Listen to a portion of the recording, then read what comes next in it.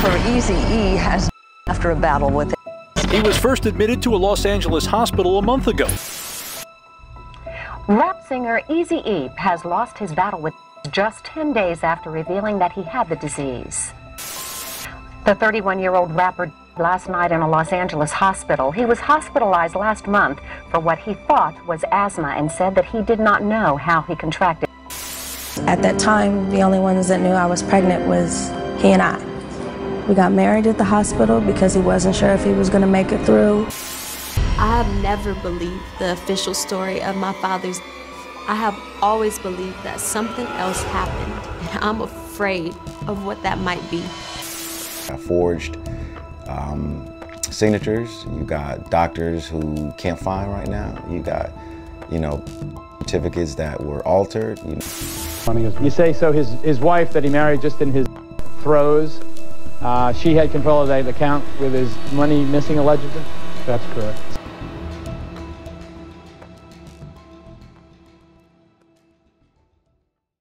In 1995, the world was about to lose a figure that was controlling the youth, the streets, and using his music to speak on things taboo to society. He was at odds with the law because he went from a gangster to a gangster millionaire as the godfather of gangster rap and the indie label CEO of Ruthless Records, which housed the legendary rap group NWA. Yo, I'm Easy E from the world's most dangerous rap group, NWA. In that time, the remnants of how black persons were negatively perceived still lingered. So, for an African American gaining this much money, power, respect, and voice throughout the world, it was a big deal. His name was Eric Wright, known globally as Compton rapper Easy E. Early 1995, Easy E began experiencing breathing complications as his chest was feeling unnatural. Brushing aside serious concern, it was assumed to be in part to something minor like asthma, but soon he would find out that wasn't to be the case. The weeks carried on, and progressively, the issue continued to the point where he checked into the hospital approximately around February 16, 2015. Eazy would spend around three days in the hospital before being released around February 19th.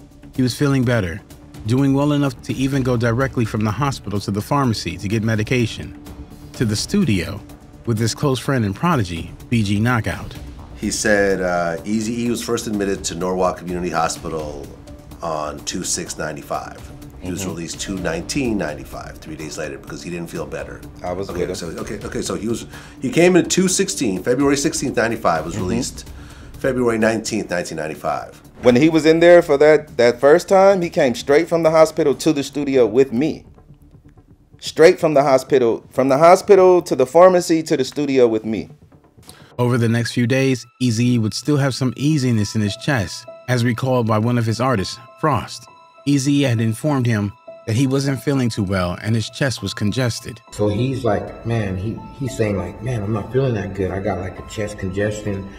Around the 24th of February, Eazy was in the studio with BG Knockout and other associates working on their album. Eazy had a part to do before the album could be completed and turned in, but he wasn't in the recording room, so Knockout went to get him. He found Eazy in the back of the studio in the hallway and had to go and come back about three times to speed up Eazy to come inside. But Eazy would just tell him, hold on, signaling he'll be there in a second. He was in the back of the studio, that little hallway. And um, I went out there like two or three times. I'm like, E, can you please come on and do your little part so we can turn this album in? He was like, hold on, hold on. Things would take a drastic decline the last time he went out to get Easy E. BG Knockout found him wheezing heavily and drawing from his inhaler to try to clear his breathing passageway. He recalls as he and Easy E were conversing, Eazy began sweating profusely, and his condition rapidly deteriorated to where he could barely speak. The last time I went out, he was wheezing real heavily. Mm-hmm. And he started hitting the inhalers. And as we were talking, he started sweating. And his condition just progressively got worse. He can barely speak. It was about an hour and a half since being at the studio at the time. BG Knockout, realizing something was gravely wrong with Easy E and not simply asthma, called bodyguards to rush him to the hospital. Eazy's lungs had collapsed. In about an hour and a half time of him being in the studio, his lungs collapsed. And then he was admitted back. That's when I told the bodyguards, you know, his breathing wasn't cool to come and grab him. And they took him and put him in a, in a car and drove him to the hospital. Eazy was admitted to Cedar Sinai Medical Center, and it would be there that the most traumatic news of his life was given. Doctors informed him he tested positive for acquired immune deficiency syndrome. At that time, no one knew, and everyone thought he was going to be treated for the congestion in his chest, and all would be fine. But approximately two weeks before the world found out, Frost caught wind of what was wrong with Easy E because his girlfriend at the time was at the hospital and called him. What she told him on the call was that Easy E was placed on the acquired immune deficiency syndrome floor of the hospital. No one wanted to believe what he was saying, but soon it would be become evident that the information Frost got was correct. By March 16th, Easy E was in terrible condition. The decline of his health was crashing, so at a conference on that day, Easy E penned an alleged letter for his attorney, Ron Sweeney, to read to the public informing them of his situation and open up about his condition as a way to impact and inform the many youths that looked up to him and the severity of not protecting yourself against the disease. I would like to turn my own problem into something good that will reach out to all my homeboys and their kin because I want to save their before it's too late. The world was in shock. Easy E was dying before their very eyes, but his message opened the eyes of many of his fans to change their lifestyle and brought awareness to the disease. Are you going to change your behavior now because Most of this? definitely. Most definitely. It didn't take long before Easy E was completely immobile. The doctor would later reveal before a conference that the disease had reached a critical stage, to the point where Easy E contracted pneumonia and couldn't even breathe on his own and was paralyzed. He was placed into an induced coma to simply preserve what little life he had left. DJ Yella, a member of the group NWA, co-founded by Eazy-E, recalled that after a risky surgery to clear his lungs, Eazy-E was induced into the coma. Right, because you went to go see him, he was already in a coma. Yeah, that was a uh, after the surgery. They was trying to do a surgery Yeah. to clear his lungs or whatever it is, and they they knew it, whatever it was 50-50 chance that he can not come out of it. So they put him in a coma. He wasn't in a coma. They induced the coma. Induced the coma. His son, Little Easy E, then 10 years old, recalled sitting outside seeing doctors rush in and out, working on his father, seeing him hooked up to tubes, hearing the mourning of family members and medical machinery. for a procedure. And then when it goes into a procedure, I was actually right there. I can like it was like they opened that door and I can see, and like him pumping on his chest when he kind of went in and out, and doctors rushing in and out. And we went to see him earlier that day, which was a normal like it was. Then before you go to this procedure or this um, to get fluid off your lungs, and then when he comes out, he's um, he has tubes in his mouth and he can't talk. However, around March 24th, news vans and camera crews were camped outside trying to get an update on the rapper's health. Rare footage would show an interview with his friend Big Reg giving contradicting details that Easy E was off of life support and doing better and hoping for the best. I just left um, the ward up there with his mom, the minister. We had prayer. And then he's doing much better now. He's doing much better. Sadly, on March 26, 1995, approximately 10 days after his attorney announced his condition to the world, Easy E passed away on his hospital bed. Rap singer Easy E has lost his battle with AIDS just 10 days after revealing that he had the disease. The doctor went on record to state that his passing was due to the acquired immune deficiency syndrome. But even darker times came after his passing because many came out stating their suspicions if Easy E did in fact pass away from the disease, or if more importantly, the circumstances around how they claim he contracted it, because Easy E lived a promiscuous life, meaning he had 11 kids from different child mothers, not to mention other women he had intimate relations with outside of them. So the question was, how did Eazy have acquired immune deficiency syndrome, but not one of these people contracted the disease? woman who's pregnant when you pass, and you have, you have just had a Then baby you got before a- you you got side Then you women. have then you have eleven other children. Then you got all these other side women who are your women. Yeah, I heard a new And not, kid not one recently person popped is. up. Yeah, yeah. It appeared all of those who were close with Eazy disagree with the way he passed away, and instead felt like the rapid decline of his health was too swift and unnatural to a regular patient, and that if he did in fact have the disease, that there was foul play included to end his life. Yeah, and, and it's just and it's just ironic because you know I know people can live with HIV for years and look normal and look healthy, but but when you're about to from full blown. You're gonna look like you're gonna from. I've seen people that from and they look like they have. Eazy didn't look like that at all when he passed away. It's like my chest hurt and then died of AIDS.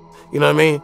And it's like, what happened to HIV? What happened to actually, you know, having AIDS and then deteriorating? Like you just, oh, doc, my chest hurt, and then you like something can happen. His son, Little Easy E, became an acquired immune deficiency syndrome activist after his father's passing to learn about the disease and spread awareness and help those suffering from the ailment.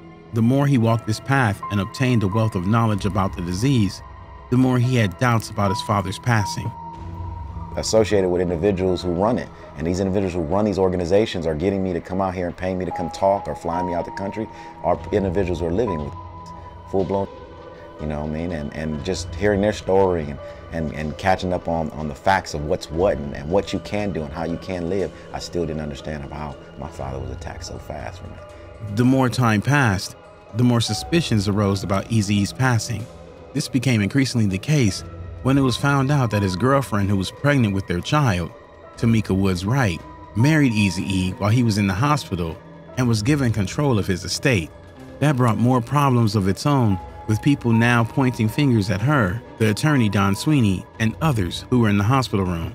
This was due to the fact that the marriage angle didn't add up if Easy E was paralyzed and unconscious, etc. As the doctor claimed since March 15th, then how could he have consciously made the decision of marriage and given his now wife control of the estate and signing the will, even writing the letter to the attorney read to the public? What's more, from loved ones' recollection, the marriage certificate didn't have Eazy-E's handwritten signature, but it was typed on. That lawyer is complicit in this in this case. That lady is complicit in this case. And some other people, yo. You understand what I'm saying? So it's like, who knows? Wasn't nobody there. Wasn't nobody there, bro, to really know for sure. We know he couldn't write. He didn't sign his he didn't sign the marriage certificate. We know that his name is typed on it. Everything kept getting even more eerie with more details. Little Easy E went on an interview revealing some of the doctors at the time could no longer be found. Signatures were forged, etc., which made the story of how Easy E passed away become riddling with plot holes that couldn't be filled logically. Got forged um, signatures. You got doctors who can't find right now. You got, you know, death certificates that were altered. You know what I mean? You got all kind of stuff. You know what I mean? So, Ebby, Eazy-E's daughter, was adamant about the suspicion of her father's passing and did a deep dive research into what happened, from speaking with health professionals to persons around the hospital at the time. I have never believed the official story of my father's. I have always believed that something else happened. It was then the things the family knew started becoming public. Apparently, they were at odds with Tomica because, other than her family, it's alleged that the others only got $75,000 out of his $20 million plus fortune and then were cut off and not given anything. All his kids, aside from Tomica's child, that they had together, don't financially benefit at They all. They don't this at all. estate. Not at all. At all. At all. A lot of things allegedly started being different than it originally was.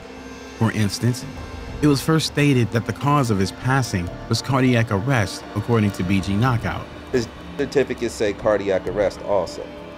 So why they why they not saying he from cardiac arrest? See what I'm saying? Well- it don't say cardiac arrest due to a complications with the virus. It just says cardiac arrest. But then, when Ebby later sought for his certificate, it was listed as pneumonia due to acquired immune deficiency syndrome. I just pulled it out. I know you can't see it, but I'm just going to read it to you. So it says immediate cause pneumocystis carinii pneumonia due to acquired immune deficiency syndrome. This begs the question was this the altered certificate his son, Little Easy E, was speaking about? You know, I never wanted to really do it. My sisters did, and again, you got forged um, signatures. You got doctors who can't find right now. You got, you know, certificates that were altered. You know what I mean? You got all kind of stuff. You know what I mean? So, Eazy-E's child mothers got into a legal battle with Tomica, and it alleged that the truth about Eazy-E's passing was being uncovered and was near being discovered. You know, and then they just got out of like arbitration with Tomica. You know, Eric and some people in his family and a couple of people that I know. And it almost came out. The truth almost came out. You know what I'm saying? Because it goes that deep. And if the suspicions weren't already staggering, an enemy of Eazy-E went on national television and said something that made everyone question if he was in fact the mastermind behind Eazy-E's passing. So they got this new thing out that people sell them all the time. They got this stuff they call, they get blood from somebody yeah. and then they shoot you with it. Oh, so well, that seems happen, bad. That's yeah. a slow death. yeah, yeah. Easy E thing, you know what I mean? Yeah. Eazy-E and Suge Knight were at odds after Suge Knight stole his artist, Dr. Dre, and it nearly resulted in a bloodbath of retaliations. Suge tried to destroy my record company with the help of others, Dre. So right now we're getting everything back together and we finna come out, you know, fully loaded. Hearing Suge Knight breaking down in detail how to kill someone by injecting them with acquired immune deficiency syndrome had many eyes his way. Knowing the ruthless person he was, it was believed by some that he was capable of doing it. BG Knockout would release the song In My Prime, where he also stands on that side of the fence, believing that Eazy-E was assassinated. Frost would later also reveal that he believed the tainted blood was transferred, stating the deed had to be done when Eazy-E went to the acupuncture and subliminally mentioned Suge's name, calling him evil. Is that someone, I won't say the name, but people know the name. I don't want to say that name Yeah, because don't- it's a name. But, you know, another person in rap, if you know your history of rap, calls him a So if you know your history in rap or West Coast rap, you'll know who I'm saying. But I was told even in the last conversation from Eazy not to even talk to that man. And not only that, but I think that they, they really had a stronghold of giving him tainted needles with with, with the virus in them through acupuncture because Evie would take this claim to a medical professional asking the question if the virus can be transmitted to someone in this manner. An answer left the room silent. These revelations placed Suge Knight high on the list of cold conspirators in Eazy's passing, right along with another group speculated by some to be a suspect, the FBI. Given Eazy-E's gang-fueled music and disrespect toward the cops with songs like F the Police, he was allegedly on the FBI's radar. This is uh, frankly offensive to me, and uh, I think to any parent that uh, uh, would uh, hear uh, and would know what these lyrics are all about, they would find that it is nothing but filth. Eazy-E's final interview, it was revealed that the KKK had a hit on his head, and the FBI allegedly knew the information but refused to inform him his life was in danger. Eazy-E didn't doubt that they wanted him gone. But I didn't know that Eazy-E still may have been on the government's radar years after the incident. Those may hate you.